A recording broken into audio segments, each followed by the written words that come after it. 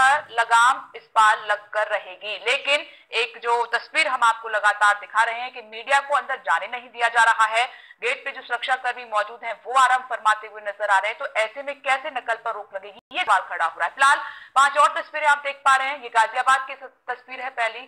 कानपुर देहात की तस्वीर। मुरादाबाद, श्रावस्ती, देवरिया। पाँच जगह की तस्वीरें आप देख रहे हैं। ये परीक्षा केंद्र बनाए गए हैं, जहाँ पर आप तमाम छात्रों को देख पा रहे हैं। सीसीटीवी कैमरे भी लगाए हैं निगरानी रखने के लिए और कई बार बच्चे डिवाइस लेकर पहुँचते हैं, नकल के कई तरीके अपनाते हैं। तो उन सब पर रोक लगाने के लिए इस बार कई कड़े कदम उठाए गए हैं। ये बात कही गई है कि इस बार नकल पर पूरी तरीके से रोक लगा कर रहेंगे।